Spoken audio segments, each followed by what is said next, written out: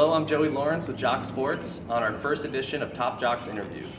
We are fortunate to have not one, but two Arizona raised men who have devoted decades of their lives to the game of golf in many different ways.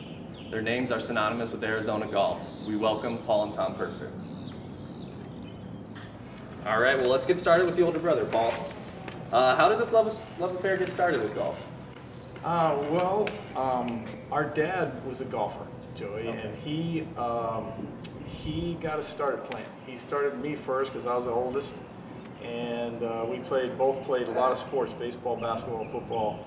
Um, you know, growing up, and, and he was always trying to get us to do that, and basically. Uh, that's how we got started. Okay, awesome. Tom, do you have anything to add to that? No, it's basically the same for me. I, you know, I, I was a younger brother, and you know how younger brothers are. They want to do whatever their older brother, you know, does. And absolutely, you know, when we played baseball, he always let me play with all his buddies. So I got good in a hurry. I had to get good in a hurry, or I wouldn't be able to play. So I played baseball, loved playing baseball. But then we started playing golf, and, and like you, like he said, Dad was really instrumental in in us uh, starting to play. I mean, he he just he loved the game, and uh, um, he's the one that got us started.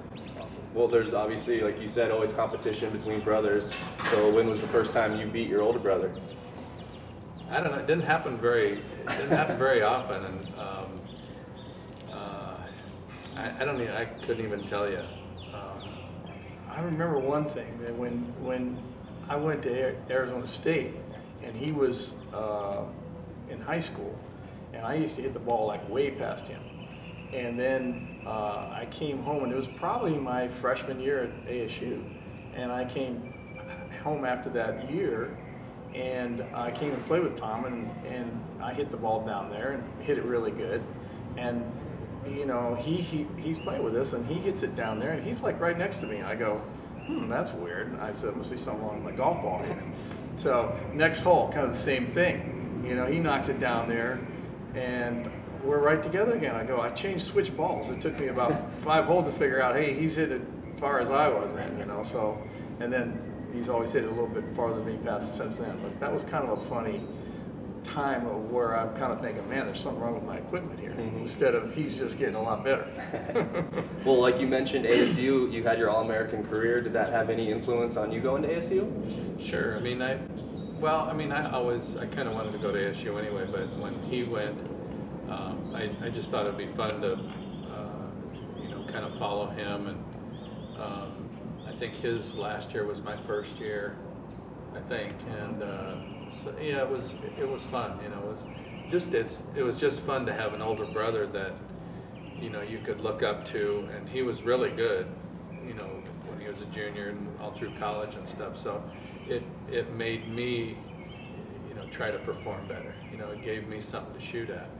So um, yeah, I mean, it was you know very instrumental in me going to ASU. And Paul, you won two Arizona Opens, a Colorado Open, and set several local course records. And in 1978, after six years on the PGA Tour, you had a wrist injury that ended your PGA career. You obviously rebounded very well, though. How did you cope with that? Um, that was a tough thing uh, because I kind of felt like um, Tom had just almost won the U.S. Open. He won the LA Open in 1977, and I was. Um, I was just starting to really play golf uh, extremely well, and I, in fact, I had the best year I ever had. It, it, I was off the tour that year, but I won a number of tournaments, uh, including the Arizona Open and the Colorado Open, and uh, a couple other tournaments, and I won our section PGA Championship. And uh, so I finally felt like, wow, I can play about as good as anybody can play golf. And, and Tom, with you know, with him winning the LA Open, I was so excited for him. And uh, he, uh, it, it, was just a, you know, it was a really, I was really hopeful and, uh, you know, of, of, having a great career. And, and, and, it was over. I couldn't play really for about almost five years. It, my wrist bothered me. So, but you know what? It's uh, hey, um, it, it's okay. You know, uh, the Lord's gotten me through that, and He's helped me kind of work through that thing.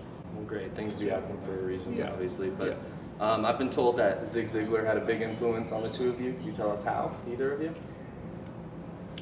Well, I'll start. Uh, basically, that was Zig Kellogg helped me kind of fi- figure out that you know what my abilities were. A lot of people would tell me that I was a really good player, and, and I knew Tom was obviously because you can't win a PGA Tour event and not be a great player. You have to be a great player to win a PGA Tour event.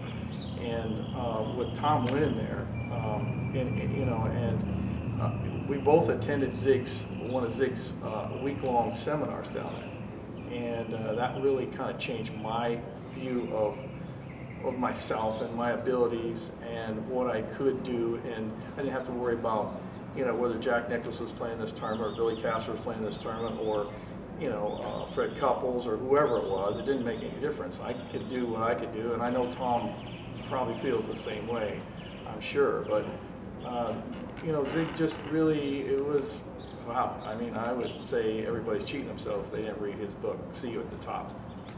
When I think he was, because when we started, I remember uh, this friend of mine, Eddie Grant, had a, a little uh, thing called subconscious golf, and it was really the first time that I had ever even thought about, you know, this the mental part of the game.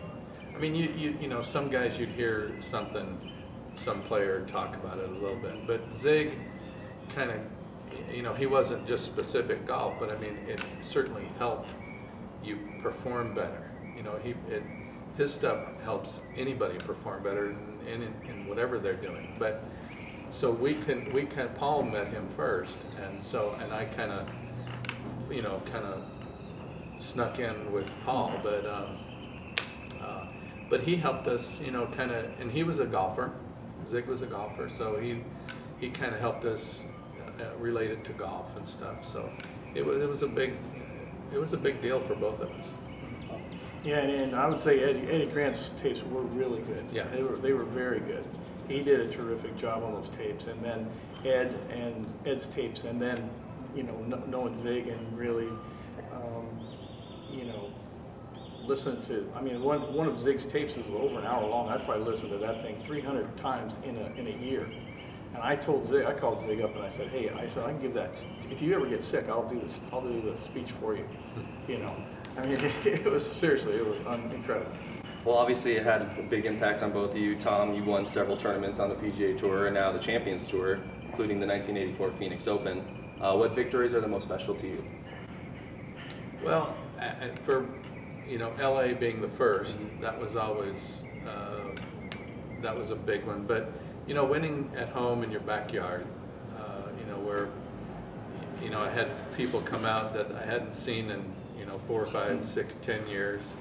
You know, they came out and followed and watched the last round and stuff, and um, so that was exciting. But just I, think just the fact of it being the Phoenix Open, you know, where I live, that was probably the biggest. Um, uh, certainly, the the uh, World Series tournament was huge because it gave me a 10-year exemption, and I had gotten I got hurt the, the year after I won that, so I needed that 10 years to to keep playing. So it worked out great. Great. And you had uh, top a few top five finishes in the majors, but I have to ask, what was it like playing in the Masters? Um, you know, my turn, my favorite uh, tournament has always been the U.S. Open. I, you know, I figure it's the national championship of, of my country, but um, so I always look forward to playing in the U.S. Open. Um, I had two good chances of winning, 77, 79. Didn't get it done, but I, I was close. Uh, Masters, I, for me, my first four or five years that I played, I didn't like it at all because I thought it was a putting contest. Only, only later did I figure out, whoa, it's not really a putting contest. It's a second shot contest because you have to. The greens, you know, it's hard hard to see on TV, but the greens are so severe that you know you can. You'd rather be 20 feet here putting at this hole than five feet on this side of the cup putting back at the hole. You know, this five footer, you're totally, you know, it was all defense. Where this 20 footer, you had a chance of making it. So after that, after the first four or five years I played, I kind of figured out that, wait, it's it's all about hitting your iron shots, where to place your iron shots. Certain spot so you could make putt, you know, try and make putts for birdies. Did you have a mentor on the PGA Tour by chance? Um, I don't know whether I ever had somebody older. I always, you know, my buddies, the guys that I played a lot with, Jay Haas and Freddie Couples. Um, I, I don't know whether I, whether I had an, uh, you know, an older mentor. Um, I was always too, like, shy to go up to a Jack Nicklaus or Arnold and ask them, you know, what to do here or there. I, I was, I was maybe a little bit too shy, you know, to to do kind of that stuff. So I, I really didn't I didn't really have a, a mentor. Uh, well, Paul, after the PGA Tour, you worked for several golf courses, and with the Grand Canyon University's golf co- coach, you started the Purtzer Golf Academy in 1995. Uh, tell us a little bit about what Purtzer Golf is all about.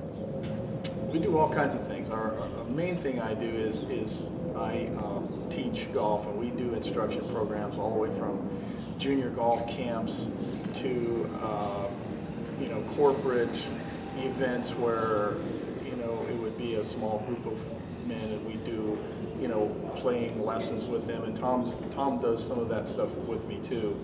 Uh, When we do our bigger events, uh, corporate events and stuff like that. So as far as on the horizon, um, I would like to do, uh, in addition to helping people play better golf, um, I'd like to do some things with Tom, um, corporate-wise. Co- We, we can run events all the way from small board meetings for companies to uh, running a Champions Tour or PGA Tour event. So that's kind of what I'd like to, I hope, hope Tom and I get the chance to do that, um, you know, in the future. So that's, uh, those are, those are some of the things that I'd like to do. Uh, with your busy schedule on the Champions Tour, do you get to have a lot of time to help your brother with Purtzer Golf?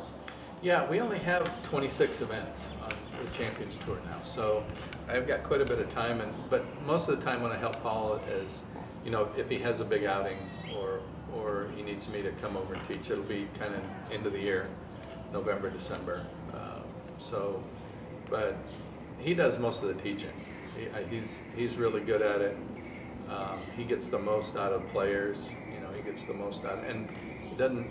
Whether you're a really good player or whether you're just beginning, he's he's really good at whatever it is, whatever the situation is. So, and that's been fun. We've we've gotten to do a couple of those and a number of those outings. So it's always fun. And Paul, you're obviously a very high energy guy with no signs of slowing down. Uh, what's next on the horizon for you? Uh, that's pretty much it. Um, we, you know, we, we um, I'm hoping, you know, as Tom's career is winding down, and he's got a, he's got five more good years at least in him. But you know, hopefully we'll be able to do some more stuff together, spend some more time together.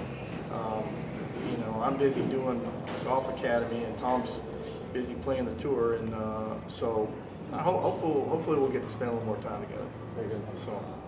And Tom, you are still competing at a very high level. Um, what does your tournament schedule look like for the rest of 2014?